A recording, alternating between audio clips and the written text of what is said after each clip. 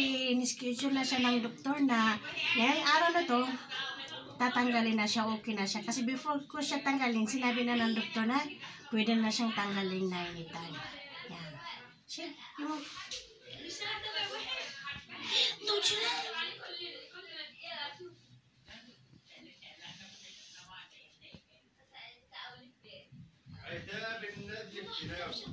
ده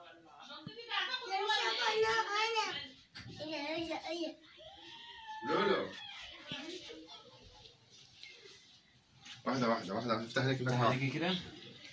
واحدة واحدة.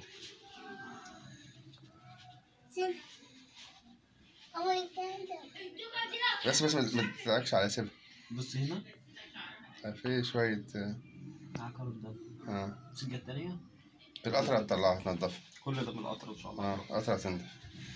إيه الدنيا يلا قول لهم تمام. na siya. Medyo malabo-labo lang siya kaunti. Pero anytime mo, magiging okay na daw siya. Kaya next Monday, ito naman yung isa ang opipirahan siya. Hello, hello everyone. Mega mega shot po sa inyong lahat. Kumusta po kayo? Kumusta pong buhay? Good morning, good night. San mang sulok ng mundo, hello po sa inyong lahat. Bago ko umpisahan ng video nito, gusto ko lang pong magpasalamat sa nagda, sa nagdasal at sa patuloy na nagdadasal sa aking fast recovery. Ito siya. Maraming maraming salamat po sa inyo sa nag-PM sa akin, ah, na laging nangungumusta. Maraming maraming salamat po. Maraming salamat din po kay Mama, andyan sa quiet. Hello Mama! sa mga in-laws ko nandito at saka sa mga ah, taong nakapaligid sa akin. Thank you, thank you so much.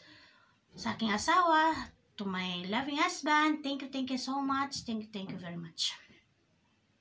Kay Ate Gilay, laging nangumusta sa akin, nagpipm sa akin, kinukumusta ako. Maraming maraming salamat Ate Gilay sa iyong pagpipm, pagkumusta sa akin. Maraming maraming salamat po. Maraming maraming sa, maraming maraming salamat po sa inyong lahat. Hindi ko na po maisa-isa kung sino man po kayo. Alam niyo naman po kung sino kayo eh. Yung lagi nagpipm, ang sa akin at nagdadasal. Thank you, thank you, thank you so much. Maraming maraming salamat po sa inyo, sa inyong dasal. Yung, ito siya, yung problema ko ngayon, yung, nung, itong dalawang mata ko siya. Before ako nagpa-confine sa doktor, nagpa-check up sa doktor, medyo, mala, medyo malabo na yung mata ko, tapos laging sumasakit yung ulo ko, araw-araw sumasakit yung ulo ko ng hindi ko maintindihan. Kasi yung mata ko dito, kumukunik dito sa ulo ko, hanggang dito. Ayan, hanggang dito siya oh. Hindi ako nakakatulog sa sakit ng ulo.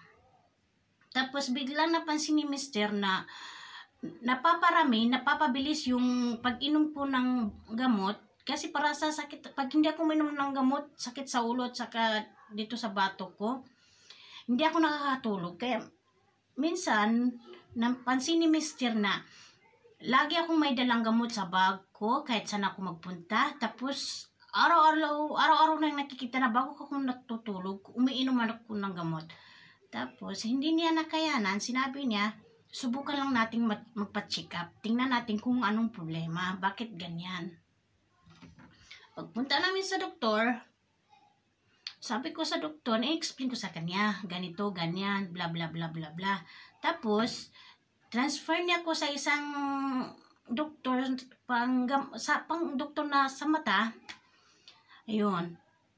Sinabi niya na nasa 10% na na nasa 10% na daw na baka hindi na ako makakita kasi malabo na daw siya, malala na daw. Sabi ko, pwede pa ba madala sa gamot? O ano, sabi na, wala na, hindi na sa gamot. Tapos sa, sa suggestion naman ni Mr. sabi niya, o sige, kung anong magandang gawin, gawin natin. Tapos, may napag, nakapagsabit kasi sa amin na pwede siyang i-laser o kaya LASIK. Tinanong namin yung doktor kung pwede siyang i-LASIK o kaya o laser yung mata ko. Sabi ng doktor, hindi na pwede. Hindi na daw kaya kakayanin ng LASIK o laser yung mata ko. Kaya, ang pwede daw la- lang daw namin gawin, yung lalagyan siya ng contact lens, permanent contact lens. Kasi dati nagko-contact lens ako, tinatanggal ko lang siyang ganyan, no? Pero nahirapan kasi ako pag laging tanggal, dikit, tanggal, dikit, tanggal, dikit, di ba?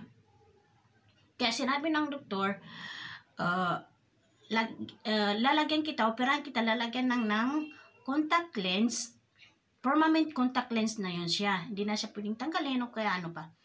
Permanent contact lens na siya. Sabi namin, o sige, walang problema. Kung yun lang solusyon, walang problema, go. Ayun, in-schedule yung operation ko sa Monday, Monday yun, o Monday. Dapat uh, operation ko nung Monday. Kaya, nagpaalam muna ako kay Ate Gilay na Ate Gilay. Hindi muna ako makatin sa mga LS mo, kaya sa primer, kasi may problema, ganito, ganito. Sabi ko ganun sa kanya, para hindi siya magtaka na bigla akong nawala o kaya bigla akong nagparamdam. Kaya nag-PM ako sa kanya. Yung pagka Sunday, pagka Sunday na, nagpa-confine ako ng gabi. Nagpa-confine ako ng gabi para sa next uh, morning, Monday, operation na siya. Ayun, dito yung sa left ko. Kasi yun, inuna yung left ko kasi mas malala yung left ko kaysa dito sa right ko. Kasi yung left ko, medyo malabo na siya. Medyo malabo na siyang hindi na siya kaya yung dito. Kaya inuna yung uh, left ko. Kaya sabi ko sa doktor, pwede bang ipagsabay na lang para isang beses na lang yung paghirap ko para dalawa na ba? Parang isang sabayan na lang pagtanggal.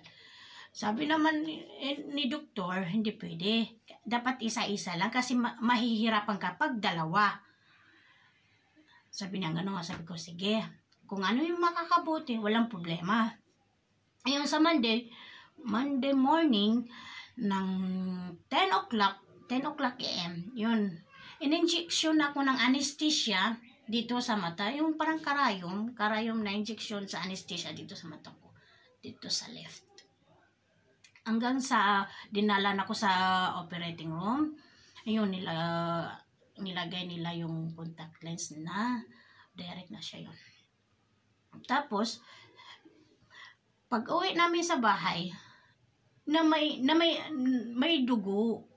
May dugo pala siya kasi yung dito kailangan for one day four times siyang palitan. Yung pagpalit ni Mr. ng first time, may dugo, may dugo na lumalabas. Hindi ko alam na dugo.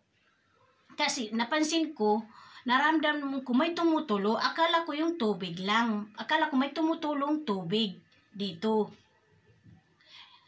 Tapos sabi ko kay mister, sabi ko sa kanila yung sa mga in-laws ko, bakit may tumutulong tubig sa mata ko nang hindi ko alam, parang masakit. Tinawag nila si mister, kasi si mister lang nakakala, nag, nagpapalit sa akin ng, ng, mga, ng tip ng ganito. Ayun. First time na pinalitan ni mister, nakita ni mister na may dugo, hindi tubig. Hindi yung tubig na luha ang lumabas, kundi yung tubig uh, hindi tubig, dugo. Dugo pala. Hindi sinabi sa akin ni mister. Kasi, ayun yung, ayun yung, yung mag-alala ko, tapos mag-isip na bakit may dugo. Yung mga in-laws ko lang nakakaalam at saka si mister. Ako na wala akong kamalay-malay, dugo pala yung lumabas. Dugo pala yung lumabas dito sa banid na ito. Ayun, sabi na, Pagka kinabukasan, dinala ako sa doktor. Kasi tinanong ni Mr. bakit may dugo, ganito. Sabi naman ng doktor, baka nabinat siya o ano. Pero okay lang yan, walang problema. Kasi may milalagay naman ganyan na gamot, di ba, sa mata natin.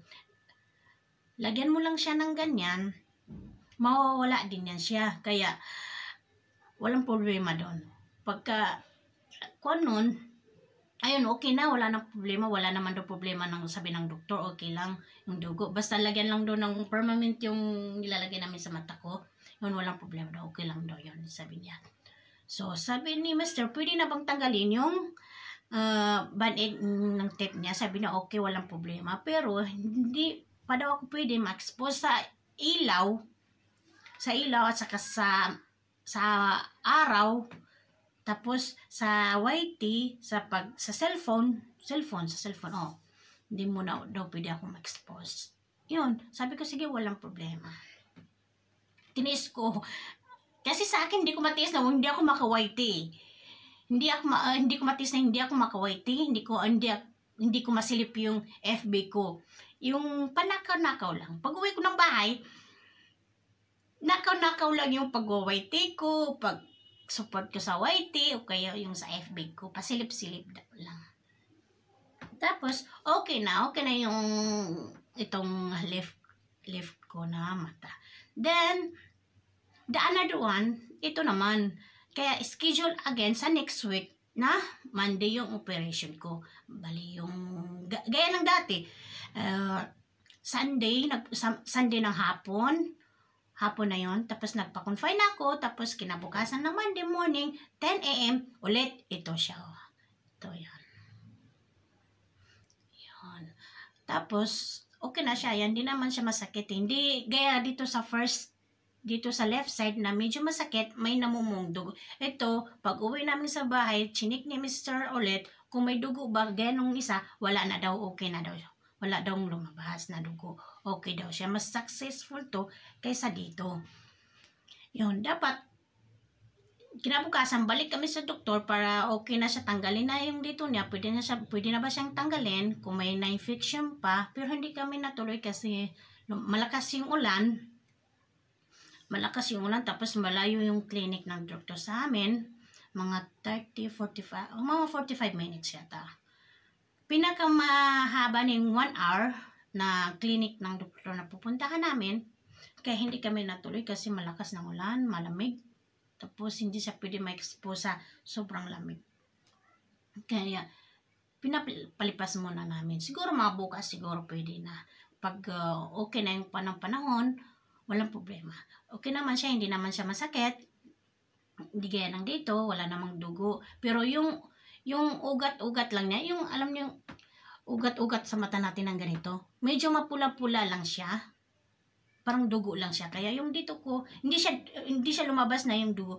Yung mata ko doon, dito dito, uh, mapula yung ugat, niya, mapula. Kaya okay na. Kaya pagpunta namin doon sa bukas, okay na, walang problema. Pwede na siyang tanggalin, tapos rest muna ng mga one week or ilang days, pwede na, pwede na kumikita, pwede na ma-expose o ganyan. Wala nang problema. Kaya maraming maraming salamat po sa inyo, sa panonood po ninyo. Sana uh, may napulutan kayong aral sa aking pag-share sa inyo.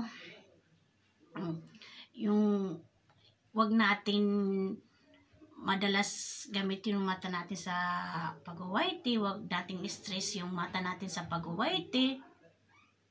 Yun lang may share ko sa inyo. Yung, yung yung naranasan ko, gusto kong i-share sa inyo kasi dati dut dut dut dut dut dut dut dut dut dut dut ako ng dut dut adik sa pangingisda nung malit pa yung bahay ko, yung nagumpisa pa ako.